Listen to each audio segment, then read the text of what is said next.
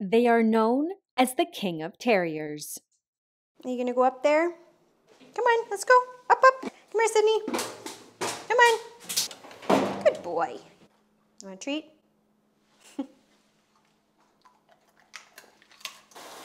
Good boy. No, no, that's exactly what we're not going to do. This intelligent, strong willed, and versatile breed is best known as being the largest terrier breed in the world.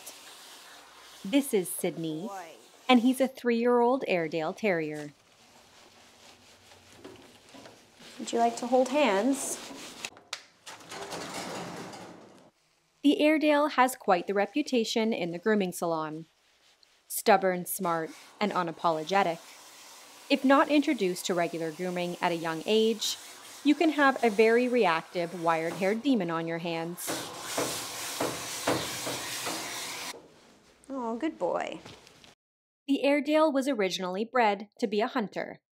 Up. Good boy. Okay, I gotta put the happy hoodie on you. They helped to control the rat and otter population in the valley of the Aire River. But owners of this breed quickly realized their versatility. From agility to police work, there isn't much that the Airedale can't be trained to do, thanks to their hardworking nature, athleticism, high levels of drive, and endurance. Even though these are all great qualities, this makes them a challenging pet to own for the average dog owner.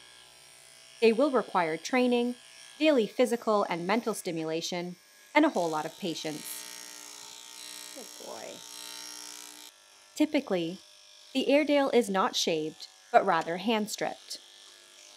Hand stripping is a grooming process that involves removing dead hairs from the coat by hand using a stripping knife or stone.